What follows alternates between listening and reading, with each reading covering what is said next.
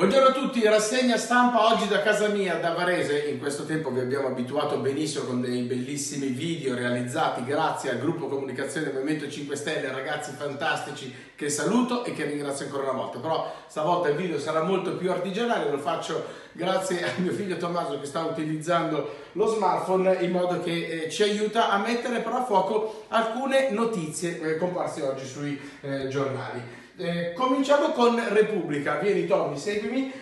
Migranti, cresce il fronte del no, elettori 5 Stelle ora con Salvini. Salvini convince gli elettori grillini, due su tre dicono no ai migranti, di Ilvo Diamanti.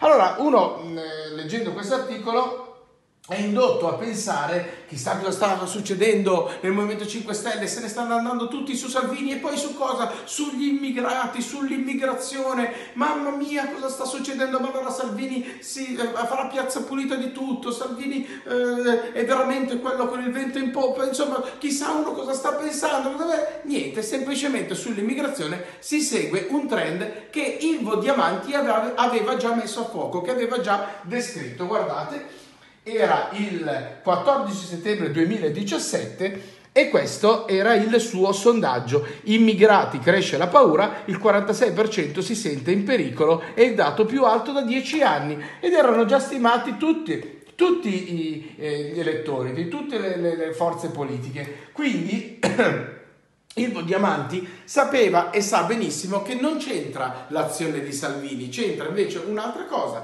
che è il tema importante di questa società che evidentemente ha un, eh, una paura o presunta tale rispetto al fenomeno migratorio legato alla sicurezza sì ma non soltanto è proprio un fenomeno in generale che tocca la sicurezza tocca i temi del lavoro tocca la costruzione delle nostre città e di come ormai le periferie siano diventate grazie a politiche scellerate siano diventate dei quartieri dormitorio ecco perché eh, si sente si avverte il pericolo lo scriveva già Ilvo Diamanti rispetto eh, ripeto nel 14, il 14 settembre del 2017. Quindi immigrati cresce la paura, il 46% si sente in pericolo, è il dato più alto da 10 anni. Quindi non c'entra assolutamente questa, eh, questa, lettura molto politica, molto di parte che fa eh, Repubblica, perché evidentemente Repubblica ha un disegno politico. Qual è questo disegno politico?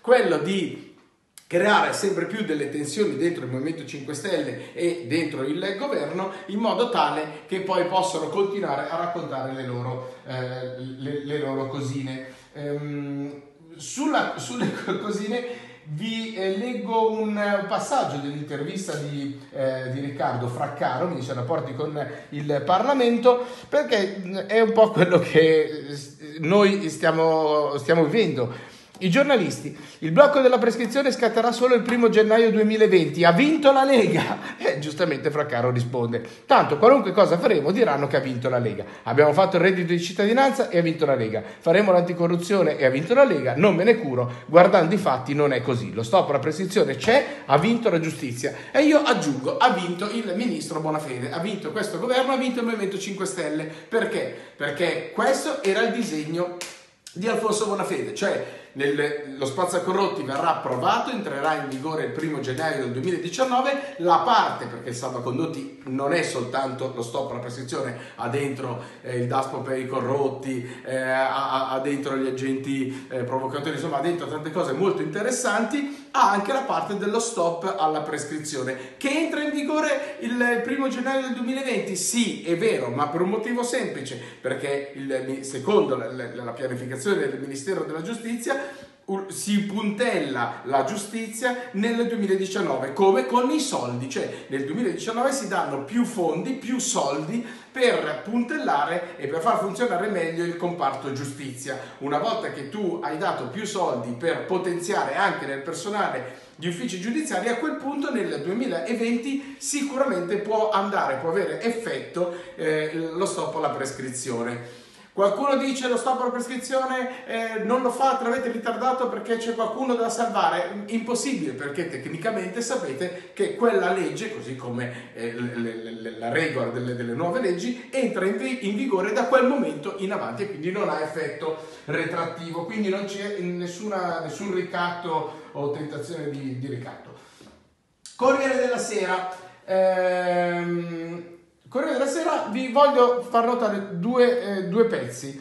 Eh, uno è di Federico Fubini, che è la commedia degli equivoci sui conti, lo spettro degli ispettori UE al tesoro. Eh, sono settimane che Federico Fubini continua a raccontare questi strani retroscena di cui soltanto eh, egli ha percezione. Evidentemente vivono nella testa di Fubini o nelle persone che Fubini eh, frequenta. Eh, potrebbe, potrei essere malizioso e dire sono pezzi ispirati da qualcuno. Mm, su questo non lo so, mm, però su un pezzo che scrive come analisi eh, qualche pagina dopo, a pagina 8, Federico Fubini, che di solito appunto conosciamo eh, come, come, uomo dei conti del, eh, del Corriere della Sera, ehm, qui parla di immigrazione e dice Blangiardo è la partita a scacchi per l'Istat.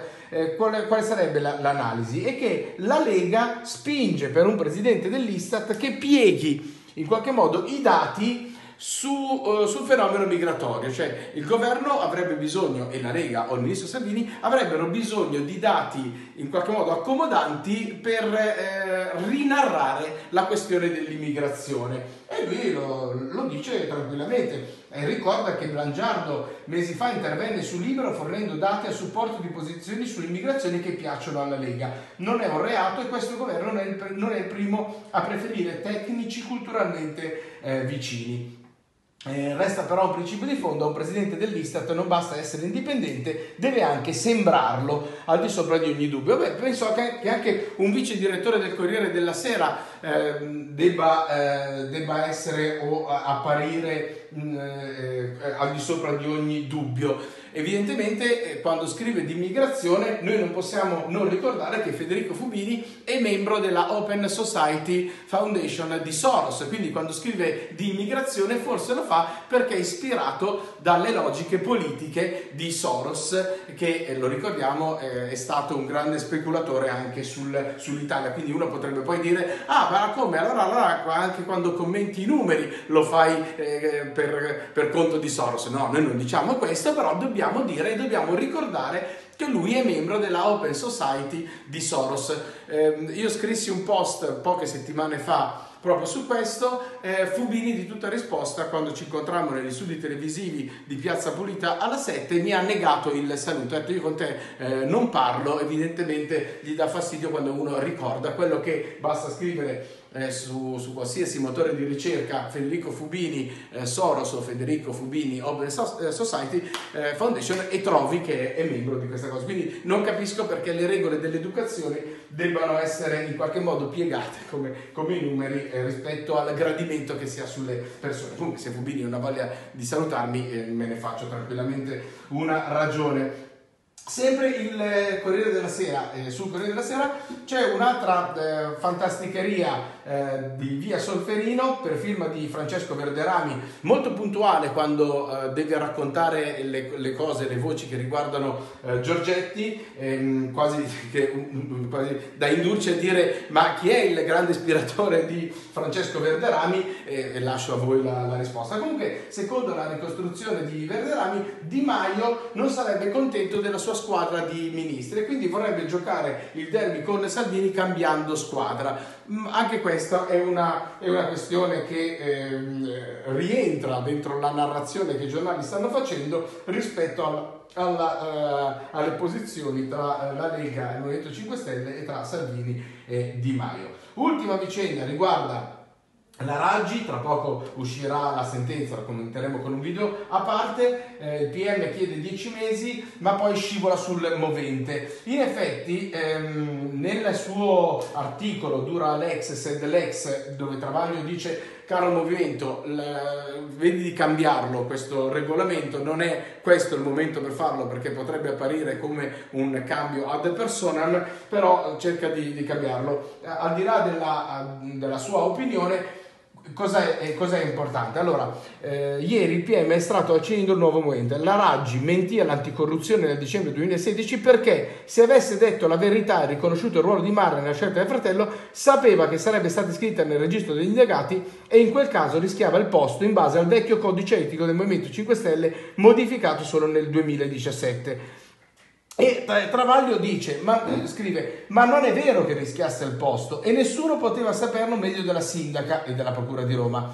Perché effettivamente la prima volta che la Raggi finì indagata fu addirittura nel luglio 2016, appena eletta, dopo un articolo di Marco Lillo e varie risposte sul comune Lazzaro, eh, eppure nessuno quando fu eletta le chiese di dimettersi e che il vecchio codice etico non stabilisse alcun automatismo tra iscrizioni o avvisi di garanzia e dimissioni lo dimostrano almeno altri due casi. Cioè, in poche parole, in quel pezzo di eh, impianto accusatorio del pubblico ministero Paolo Ielo poggia su una, su una sua convinzione che non è vera, perché non può pensare, ed è strano che poi questo però rientri nel pezzo dell'impianto accusatorio, non può pensare che la Raggi potesse mentire per paura di eh, essere costretta alle dimissioni, perché di fatto nel regolamento non c'era scritto questo. È stato, va bene, una, una rassegna rassegna stampa un po' lunga, però credo di aver trattato un po' di, un po di argomenti, credo anche di avervi dato qualche spunto interessante per commentarlo. Quindi ciao a tutti, buona giornata, poi commentiamo la sentenza della Raggi.